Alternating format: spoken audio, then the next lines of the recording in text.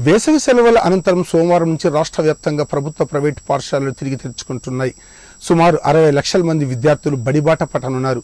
Covid కేసుల పెరుగుదల పుస్తకాల పంపిణీ పూర్తవకపోవటం వేసవి తీవ్రత ఇంకా కొనసాగుతున్న నేపథ్యంలో సెలవులు పొడిగిస్తారన్న ప్రచారం జరిగిన ఆ ఊహాగానాలకు విద్యాశాఖ తెరదించింది.